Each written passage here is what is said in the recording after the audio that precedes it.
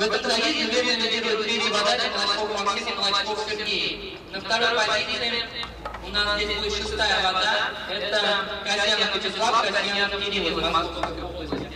И третьими на финише стали представители Москвы по четвертой воде Агеев Александр, Агеев Богдан.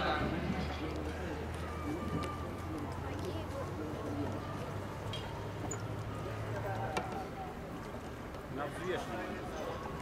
А кстати, что нас не вызывали? Предварительно не вызывать, полуфинал уже будут вызывать. Не взвесить. Давай.